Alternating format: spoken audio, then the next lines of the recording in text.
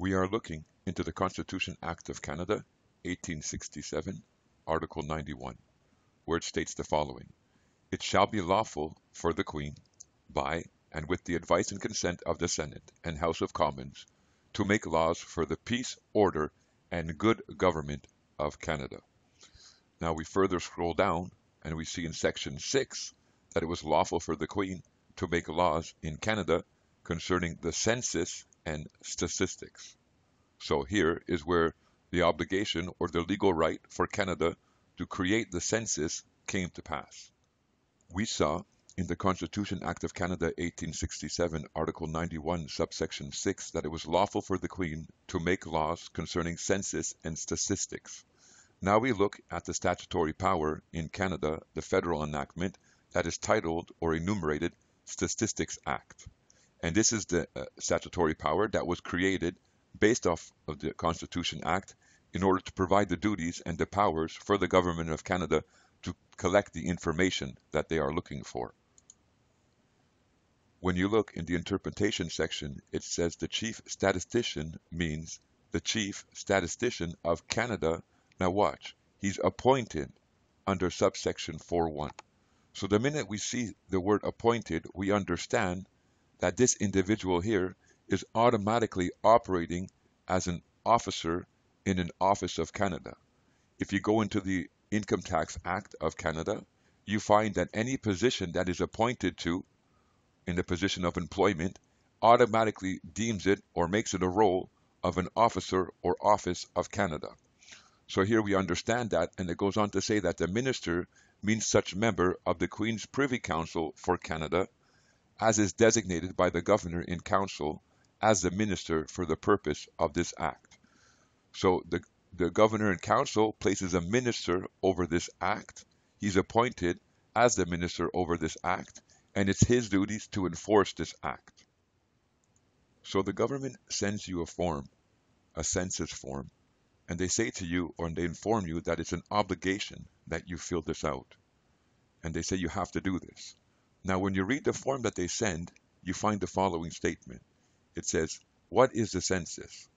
The census provides a statistical portrait of the country and its people. In Canada, it is mandatory for all residents to participate in the census. So this is the legal ground this is the legal position that this government body, this government office is taking with you. They are saying in Canada, it is mandatory for all residents to participate in the census. Most individuals would read this statement and take it as the following. In the geographical area or the geographical landmass, better known as Canada, it is mandatory for all those who live in that geographical landmass to participate in the census.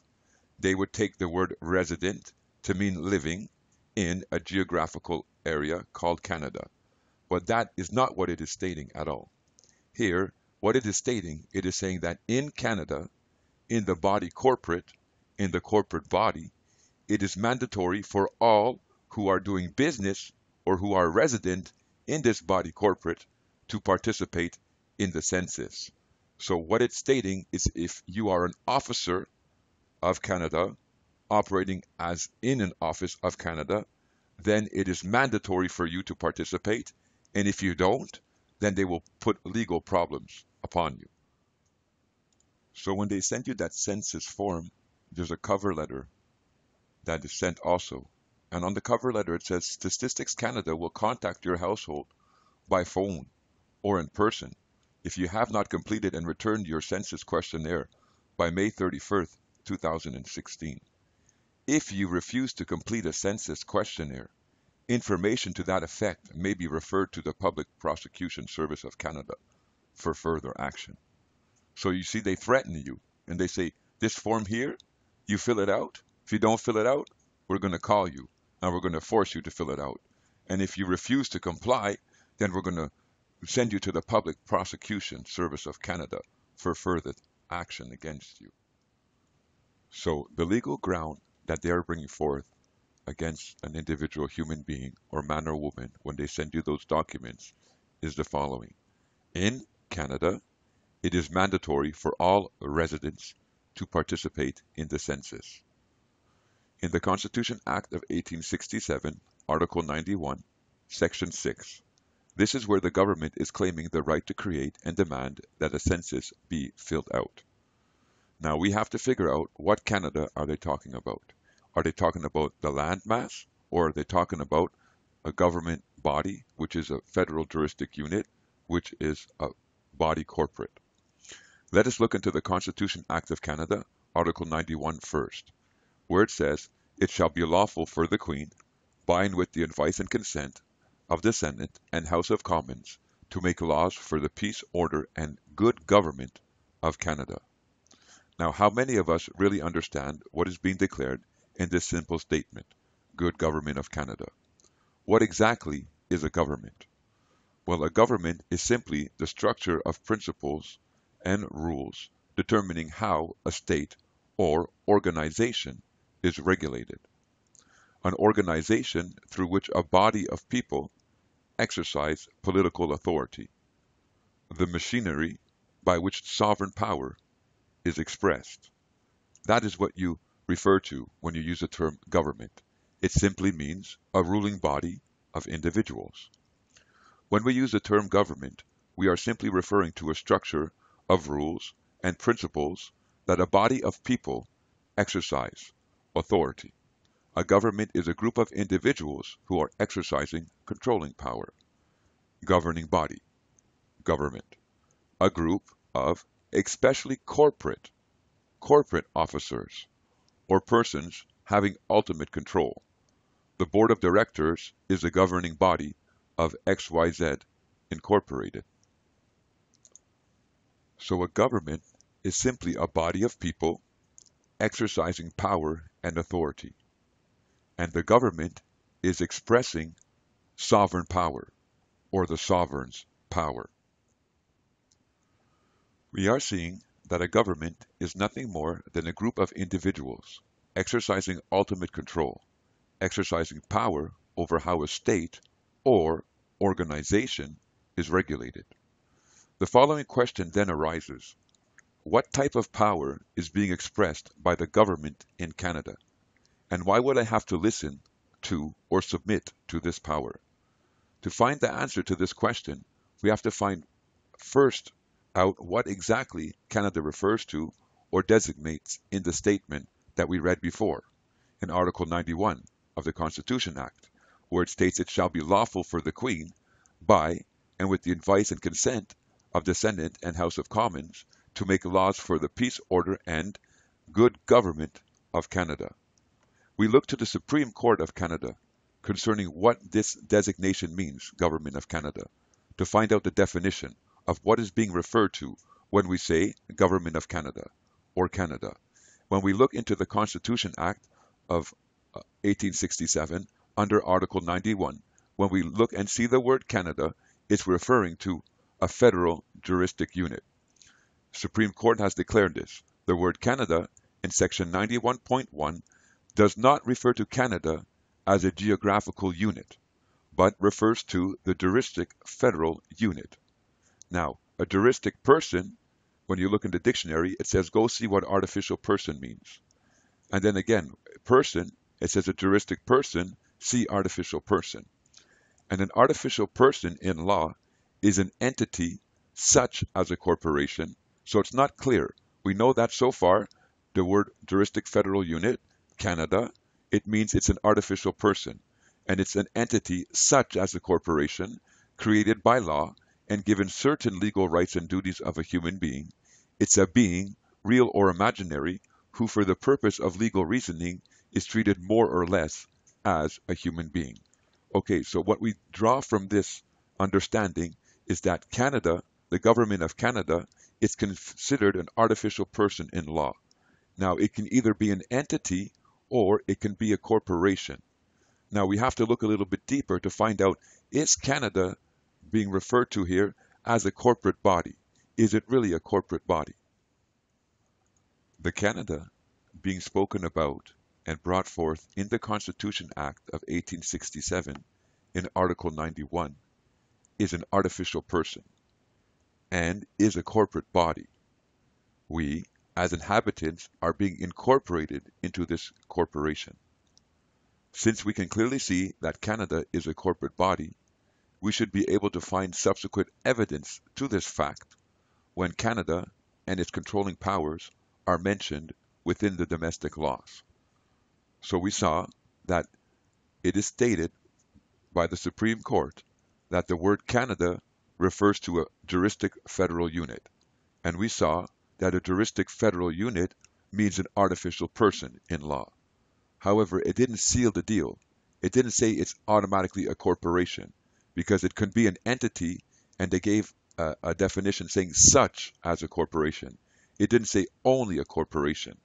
So what we learned is that Canada, when you say the word Canada, you're referring to an artificial entity, an artificial person in law. Now we're going to see what type of powers are in operation in this artificial person, and that's going to describe to us and show us exactly what type of artificial person it is. So when you look into the Constitution Act of Canada 1867, Article 9, you find the following statement. It says the executive government and authority of and over Canada is hereby declared to continue and be vested in the Queen. So now we see what type of powers are in oper operation. It's executive powers. And it is executive powers that are that are have the authority over the artificial person, Canada. In the Constitution Act of 1867, Article 10, it says the provisions of this act referring to the Governor General extend and apply to the Governor General for the time being of Canada, that artificial person, or other, the Chief Executive Officer or Administrator for the time being, carrying on the Government of Canada on behalf and in the name of the Queen by whatever title he is designated. So we see that the Governor General, the position that he's appointed to, is Chief Executive Officer. That's the power in operation in Canada. He's the Chief Executive Officer. When you look at the definition of what a Chief Executive Officer is, it's a corporation's highest ranking administrator who manages the firm day by day and reports to the board of directors. So then when we walk this backwards, we see and understand what's going on. The powers that are in operation in the artificial person Canada are executive and corporate in nature. Therefore, the Canada, the artificial person being described, is a corporate body in nature.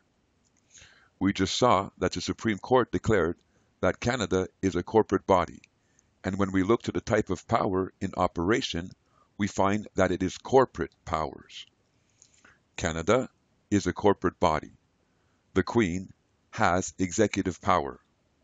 The executive powers are passed to the Governor General, and he becomes the Chief Executive Officer of the corporate body called Canada. Executive powers bring forth corporate in nature. Now, when you when you look into the enactment which governs and controls the Governor General, that Chief Executive Officer, we find that the executive powers that he is operating on behalf of the Queen are flowing through the fact that this corporate body is a corporation sole, that Canada is a corporation sole. Office of the Governor General, the Governor General of Canada, or other Chief Executive Officer or Administrator carrying on the Government of Canada on behalf and in the name of the Sovereign by whether, whatever title designated is a corporation sole. Canada, Federal Juristic Unit, the Governor General is the Chief Executive Officer of this corporation sole. The corporation sole is called Canada, and the powers being exercised are executive powers. Now, the Governor General is the Chief Executive of Canada, and he controls what transpires in this corporation on behalf of Her Majesty. He also shares this power with the lieutenant governors of the province. Constitution Act 1867, Article 14. It shall be lawful for the Queen, if Her Majesty thinks fit, to authorize the Governor General from time to time to appoint any person or any persons jointly or severally to be his deputy or deputies within any part or parts of Canada, and in that capacity to exercise during the pleasure of the Governor General, meaning no set time frame, such as the powers, authorities, and functions of the Governor General as the Governor General deems it necessary or expedient to assign to him or them. We have Canada, that's an artificial entity in law that we now know is a corporate body. It's a body corporate when you use the word Canada. And the powers being exercised in the body corporate are executive. When we come back to 1867 Constitution Act, Article 91, where it's lawful for the Queen to make laws for the peace, order, and good government of Canada, they're talking about the body corporate. And they go in in Section 6, where it says that the government is claiming the right to create and demand that the census be filled out. Article 91, subsection 6. It's in that body corporate that this operation of law is transpiring. The Canada being spoken about is the body corporate, its executive powers being operated, and they said in section 6, in this body corporate, the officers, the ones who are resident in this body corporate, must fill out the census. Remember, it said that it, in Canada, it is mandatory for all residents to participate in the census. So look at what that's saying. In the body corporate, in the corporate body Canada, it is mandatory for all residents, those doing business in Canada, those operating in offices as officers of Canada must participate in the census. In the Statistics Canada enactment, Article 19.1, it says a census of the population of Canada shall be taken by Statistics Canada in the month of June in the year 1971 and every fifth year thereafter in the month to be fixed by the Governor in Council. So this is coming out of the Constitution Act of Canada 1867, Article 91, where it says in Canada, in the body corporate, they're allowed to do a census. Now here they create the enactment and they say a census of the population of Canada. What Canada are they talking about here? They're talking about the body corporate. Now, in the enactment, in their statutory power, in Article 3, it says there shall continue to be a statistics bureau under the minister, the one operating executive powers, to be known as the Statistics Canada, the duties of which are to collect, compile, analyze, abstract, and public statistical information relating to the commercial, industrial, financial, social, economic, and general activities and condition of the people. They create a bureau within the body corporate of Canada and they apply this enactment against the residents, the officers operating in offices of Canada, the ones who are resident within the corporate body of Canada. Now they threaten you and they say if you don't fill out this census, because it is in Canada, it is mandatory for all residents to do so, then we will perhaps take legal action against you. Now, here in the enactment itself, in Article 31, it says every person who, without lawful excuse, the provision is there, the proviso is there, the excuse, the qualification is already present. That's why they put that here. Every person who, without lawful excuse, refuses or neglects to answer, or willfully answers falsely any question uh, requisite for obtaining any information sought in respect of the objects of this act or pertinent thereto that has been asked of him by any person employed or deemed to be employed under this act, or refuses or neglects to furnish any information, will, for the refusal or neglect, or false answer or deception, will be guilty of an offense and liable on summary conviction to a fine not exceeding $500 or to imprisonment for a term not exceeding three months, or to both. So every person who refuses to give information under the census can have that happen to them. $500 fine or three months in jail, or both. But every person who doesn't give the information with a lawful excuse then is protected. Well, what would your lawful excuse be in this particular situation? Are you forced to be considered resident in this Canada? Are you forced to take recognition as an officer operating in an office of Canada? Remember, they said the census provides a statistical portrait of the country and its people. In Canada, well, we know what Canada they're talking about now. They're talking about a federal juristic unit, an artificial person that is exercising executive powers, that has a chief executive officer at its head, that is therefore considered a body corporate, a corporate body, a corporation in law, and it is mandatory for all residents, those who are doing business in this body corporate, to participate in the census. Excuse me, I'm just living at home as a simple man or woman. My position would be that I'm not part of the body corporate of Canada. I am not a resident in Canada. You can't force me to be resident in Canada. If you try to do so, you violate my Section 26 and Section 7 constitutional rights of 1982. And further to that, you violate your obligations to the international covenants. Thomson Newspaper Limited versus Canada.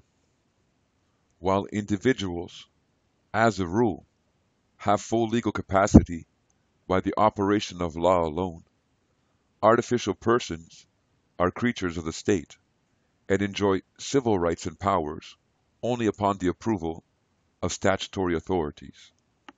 The individual may stand upon his constitutional rights.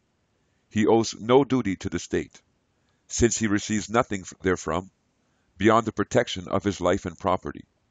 His rights are such as existed by the law of the land long before the organization of the state, and can only be taken from him by due process of law and in accordance with the Constitution.